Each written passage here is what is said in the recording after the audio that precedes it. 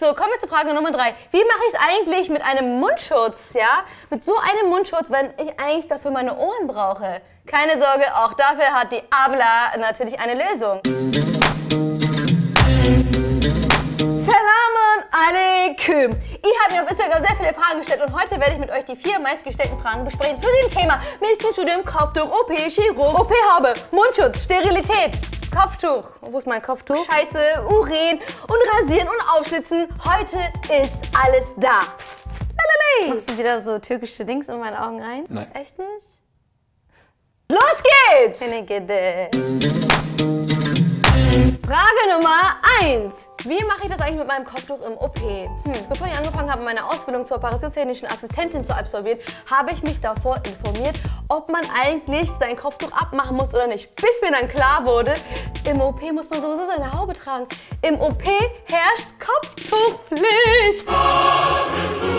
Damit ihr euch ungefähr vorstellen könnt, was ich meine mit Kopftuch gegen Haube umtauschen, zeige ich euch jetzt, was ich damit meine. Ich habe jetzt hier gerade einen sterilen Kittel an, der mittlerweile unsteril geworden ist. Ich trage normalerweise kein Unterkopftuch während, des, äh, während der OP, weil es mir einfach zu warm dann ist und ich mir einen Ass abschwitze. Die erste Haube ist eigentlich für Menschen gedacht, die kurze Haare haben. Und die bringe ich mir erstmal an meinen Kopf. Die sieht dann ungefähr so aus. Wie ihr sehen könnt, ist ja alles halt leider frei.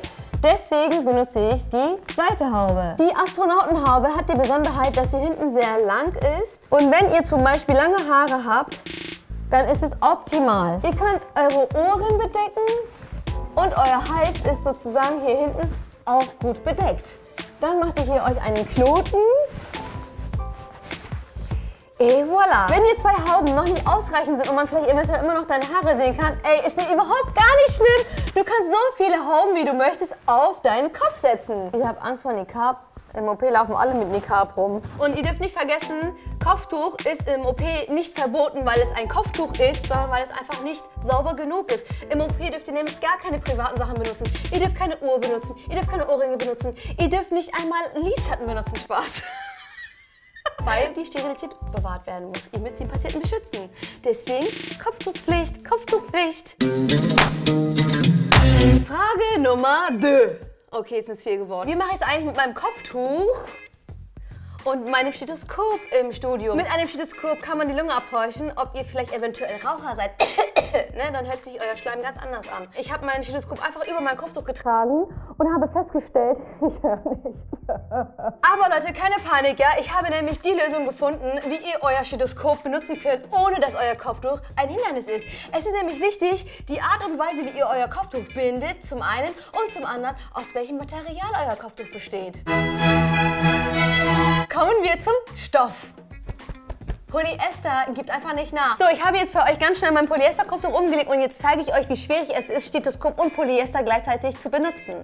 Also wie ihr sehen könnt, ist es sehr widerstandsfähig und man kann sein Kopftuch ganz schwer nach hinten schieben. So.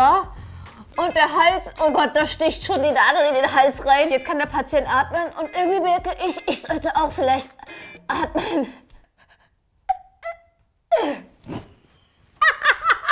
Spaß. Welchen Stoff ich euch besonders ans Herz legen kann, ist Jersey. Jersey ist sehr elastisch. Der Vorteil an Jersey ist, dass ihr dafür nicht unbedingt eine Nadel benötigt, um es zu befestigen. So, und dann könnt ihr es ganz einfach um euren Kopf wickeln. Maschallah, das sieht voll gut aus. Ohne, ohne Spiegel habe ich das so, gemacht. Ich muss nur hier in der Ecke so festmachen. Voila. Und wie ihr sehen könnt, ich komme ganz leicht an meine Ohren rein. Einen weiteren Stoff, was ich euch extrem empfehlen kann, ist Baumwolle. Baumwolle ist auch ein sehr gutes Material und es ist auf jeden Fall elastischer als Polyester. Wir fangen jetzt mit der Bindetechnik an. Das ist nämlich ganz Wichtig. Es gibt nämlich ziemlich viele Art und Weisen, wie man sein Kopftuch bindet, aber ich habe für mich die einfachste Lösung gefunden, indem ich mein Kopftuch zumal mit einem Turban binde und darüber einfach ein anderes Kopftuch benutze. Ich habe jetzt mir erstmal für euch ausgezogen. ich bin nackt. Jetzt zeige ich euch, wie man ein Hijab nach Gülcan macht oder auch Gujabista. Ich trage erstmal einen Ninja Scarf oder einfach nur Unterkopftuch, whatever. So, dann habe ich das hier sozusagen auf zwei Drittel. Das ist die kurze Seite, hier ist die lange Seite. Ich bin Linkshänder. Linkshänder binden das Kopftuch genau andersrum. So, ihr legt euer Kopftuch erstmal schräg an. Und ich brauche jetzt einen Spiegel, weil ich sonst das nicht machen kann. Güljabi hört sich auch cool an. Zunächst einmal legt ihr euer Kopftuch schräg an euer Kopf an, so. Weil wenn Yunus mal vielleicht das richtig machen würde. Okay, wenn ich das hier angepinnt habe, dann klappe ich das vorsichtig so übereinander und lege das um meinen Hals herum. Hier darauf achten, dass es nicht zu eng ist. Und ihr macht folgendes. Ihr schiebt einfach alles rüber. Und hier das gleiche, Falten reinmachen, so wie es euch gerade passt. So, und danach kann man das hier, hier so rüberfalten. Und dann habt ihr das lange Ende und das wickelt ihr sozusagen einmal um euer Kopf herum, Nadel und pinnt sie hier ran. Voila! Und fertig ist der Güljabi. Und wenn ich jetzt mein Stethoskop benutzen möchte, dann schiebe ich einfach mein Kopftuch nach hinten, kann das ganz einfach in mein Ohr rein, Steckeli. Und dann kann der Patient anfangen zu atmen. Ich höre alles, Bruder. Ja, ich weiß, man sieht manchmal vielleicht hier ab und zu ein paar Härchen. Aber ganz ehrlich, Leute, wir wollen hier versuchen, Menschenleben zu retten, okay? Also chillt mal euer Leben, wir jetzt hier Pause. So, kommen wir zur Frage Nummer drei. Wie mache ich es eigentlich mit einem Mundschutz, ja? Mit so einem Mundschutz, wenn ich eigentlich dafür meine Ohren brauche? Keine Sorge, auch dafür hat die Abla natürlich eine Lösung. Ihr steckt eure Hände hier in diese Schlaufen rein, setzt das an eurem Gesicht und hinten habt ihr üblicherweise immer einen Dutt.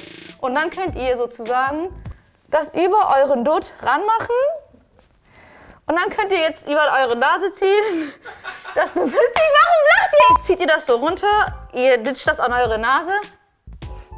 Eine weitere Möglichkeit, falls ihr gar keinen Dutt habt oder ganz kurze Haare habt oder euer Dutt einfach zu groß ist, ihr besorgt euch einfach eine Schere und schneidet sozusagen die unteren Enden von eurem Mundschutz ab. So, wenn wir die unteren Enden abgeschnitten haben, dann kann man auch den Mundschutz so anbringen. Und zwar einfach hier einen Knoten machen und hier runterziehen. Aber am einfachsten macht ihr es euch, wenn ihr Ausschau nach diesem Mundschutz haltet.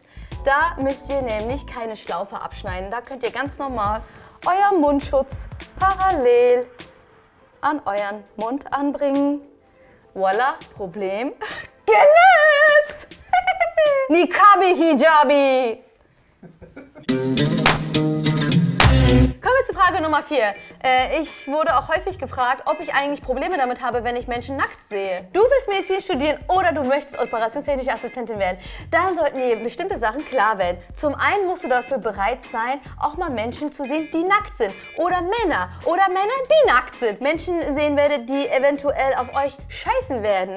Also wortwörtlich Kacker im Gesicht. Irgendwann müsst ihr auch einen Katheter legen. Wisst ihr, was das ist? Informiert euch mal. Was ist ein Katheter? Wie lege ich einen Katheter bei einem Mann? Du musst sie untersuchen, du musst sie reinigen, du musst sie pflegen, du musst sie rasieren, du musst sie aufschlitzen. Nehmen wir an, du arbeitest auf einer Station, und danach kommt irgendein Notfall und Herr Müller muss sofort in den OP. Aber er muss davon noch rasiert werden. Und die Oberschwester sagt, komm Güttern, du musst Herr Müller noch rasieren. Oh mein Gott, niemals, das ist widerlich. Nein, du musst es machen, weil das ist dein Job. Diese Sachen werden dir jeden Tag begegnen. Also wenn ihr mich fragt, ist das Kopftuch das geringste Problem bei diesem Job. Ich kann es völlig nachvollziehen, dass du es vielleicht eklig findest, wenn du Menschen rasieren musst oder sie waschen musst und schrubben musst oder dass du sie nicht einmal anfassen möchtest, weil das einfach viel zu viel für dich ist. Dann solltest du dir auf jeden Fall bewusst machen, dass du vielleicht doch was anderes werden solltest. Bundeskanzlerin werden. Wenn ihr noch weitere Fragen habt, dann schreibt sie einfach mal in die Kommentare. Hier kommt ihr zum Hijab Undercover Lifehack Video. Da unten geht's zur Funkwelt. Und wenn wir euer Herz noch nicht bekommen haben, könnt ihr uns das jetzt hier hinterlassen. Ansonsten kommt die Mutti und holt sich das. Okay, abonniert uns. Ist es also ein Problem? Was ist los? Musst du kotzen? Wow, Digga, Respekt. Ich habe den übertrieben gut gehört und drauf. Nice aufgenommen auf jeden. King. Das kommt dann in die Outtakes. Wenn du das machst, dann bring ich dich um, ich schlitz dich zuerst auf. Warum?